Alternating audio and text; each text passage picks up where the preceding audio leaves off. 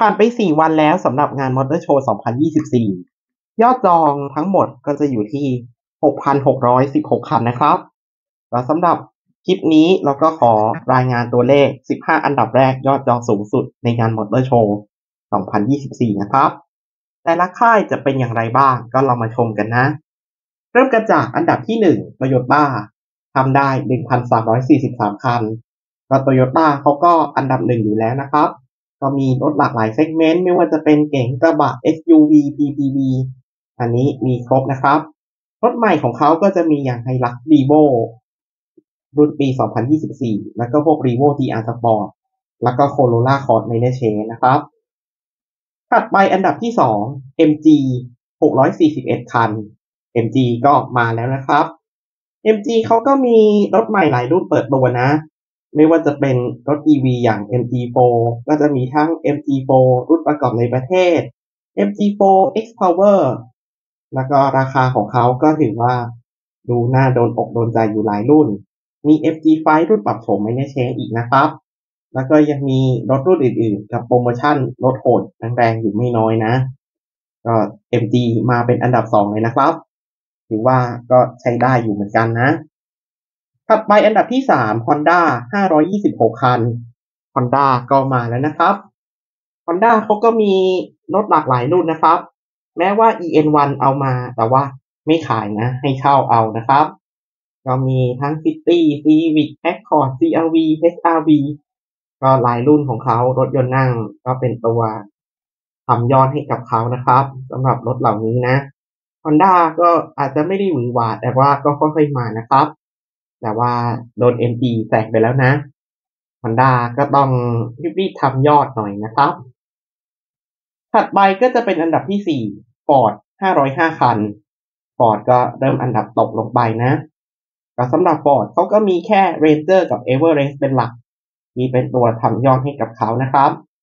เพราะ Ford ตอนนี้ก็มีอย่าง Ranger Wildtrak V6 3.0 Everest Platinum ก็จองหมดในเว็บไซต์ไปแล้วนะครับ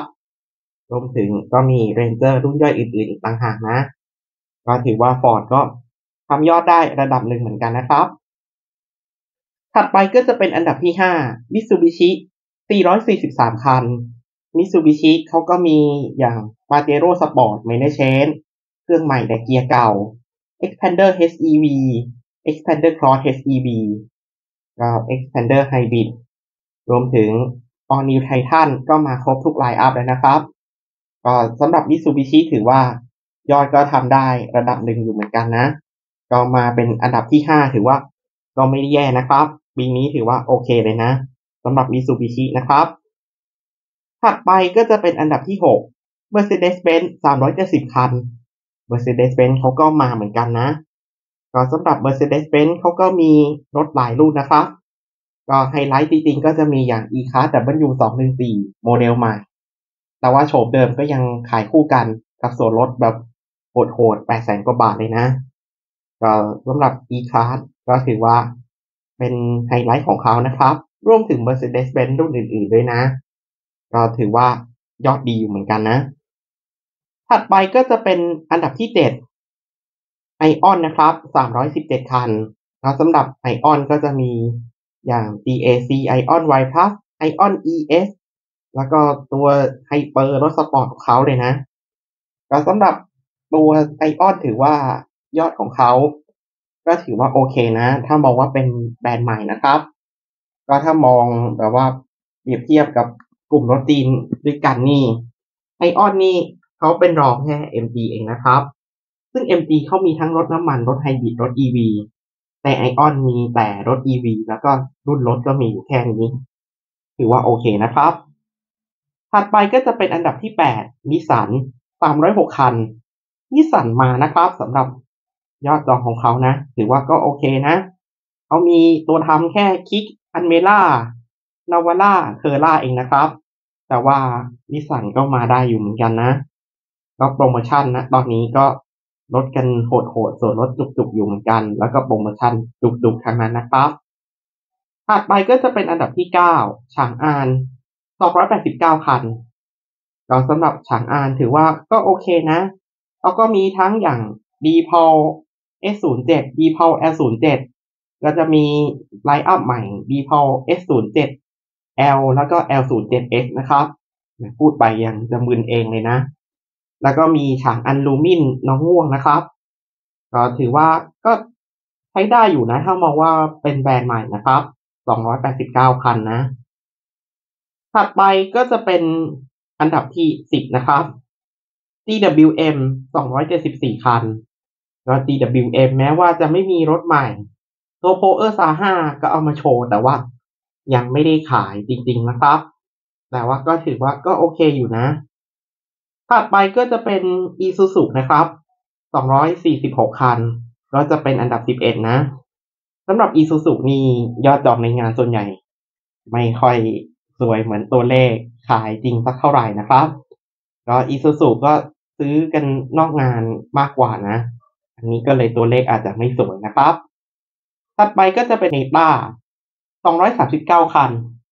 ก็เนต้าเขาก็มีอย่างเนต้า V2 ก็มาแล้วนะ ตรงนี้ก็ถือว่าก็โอเคนะไลน์อัพมีแค่นี้แต่ว่ายอดมาได้นะครับ แล้วก็อันดับที่ 13 เกียร์ 221 คัน เกียร์ก็มานะครับสำหรับตอนนี้นะ เกียร์เขาก็มีตัวหลักๆอย่าง EV5 แน่นอนเลยตัวทำยอดนะครับ รถ EV หนึ่งร้อยเปอร์เซ็นแล้วก็เป็น SUV ราคาย่านล้านกว่าบาทก็ถือว่าก็โอเคนะ ถัดไปก็จะเป็นอันดับ 14 BMW 205 คันนะครับ BM ก็มาเหมือนกันนะ ก็มีทั้ง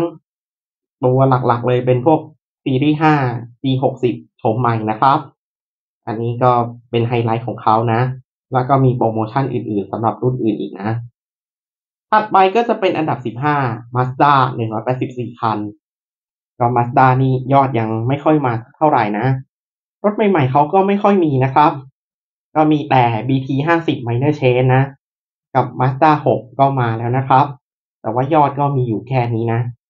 สำหรับ Mazda นะครับ ก็ประมาณนี้นะครับสำหรับยอดจอง 15 อันดับแรกสำหรับงานมอเตอร์โชว์4วันผ่านไปนะ ก็ในส่วนของวันถัดไป ก็คงต้องรอดูกันต่อไปว่าแต่ละยี่ห้อจะเป็นอย่างไรบ้างนะครับก็สำหรับคลิปนี้ก็ประมาณนี้